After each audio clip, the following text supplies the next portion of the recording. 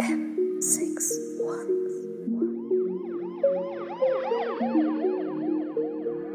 Run that shit up, Leroy.